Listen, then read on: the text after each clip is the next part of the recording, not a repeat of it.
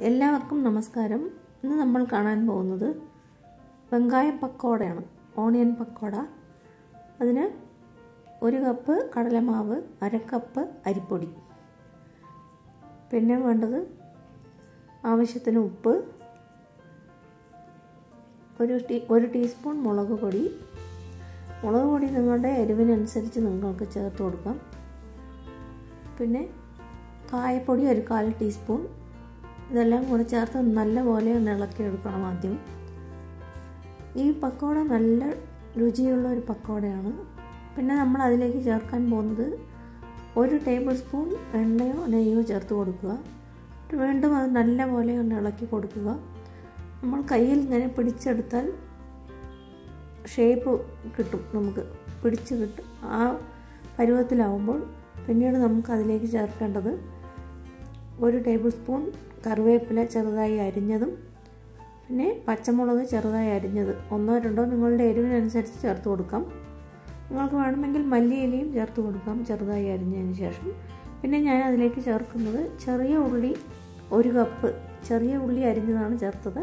ചെറിയ ഉള്ളി ചേർത്തുണ്ടാക്കുമ്പോൾ നല്ല സ്വാദാണ് ഈ പക്കോടയ്ക്ക് നിങ്ങൾക്ക് ചെറിയ ഉള്ളി ഇല്ല എന്നുണ്ടെങ്കിൽ വലിയ ഉള്ളി സവാള വെച്ചും ഇത് ഉണ്ടാക്കാം. പിന്നെ വെള്ളം കുറച്ച് കുറച്ചായി തളിച്ചു കൊടുത്ത് രണ്ടോ മൂന്നോ ടേബിൾ സ്പൂൺ വെള്ളമേ ആവശ്യം വരുള്ളൂ ഇതിന്. നിങ്ങളുടെ മാവ് നിങ്ങൾ എത്ര എടുക്കുന്നോ അതിനനുസരിച്ച് നിങ്ങളുടെ വെള്ളത്തിന് അളവിലും മാറ്റം ഉണ്ടാവും. നമുക്കിങ്ങനെ കട്ടിയായ ഒരു മിശ്രിതമാണ് ഇതിന് ആവശ്യം. ഒരുപാട് ലൂസായി പോകരുത്. നമ്മളങ്ങനെ നുള്ളി നുള്ളിയാണ് അത് ഇടുന്നത് എണ്ണയിലേക്ക്. അതുകൊണ്ട് ഇത്രയും കട്ടിയായിരിക്കണം മാവ്. ഈ ഇത് നല്ല സ്വാദുള്ള ഒരു പക്കോടയാണ്. ഇപ്പോൾ എണ്ണ ചൂടായി കഴിഞ്ഞു. അതിലേക്ക് നമുക്ക് ചെറു ചെറുതായി അത് നുള്ളി ഇടണം.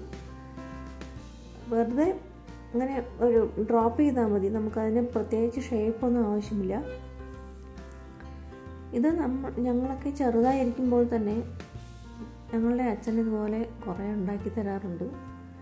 നല്ല സ്വാദുള്ള ഒരു പക്കോടയാണിത്. ആ റെസിപ്പിയാണ് ഞാനിപ്പോൾ ഇവിടെ ഷെയർ ചെയ്തിരിക്കുന്നത്.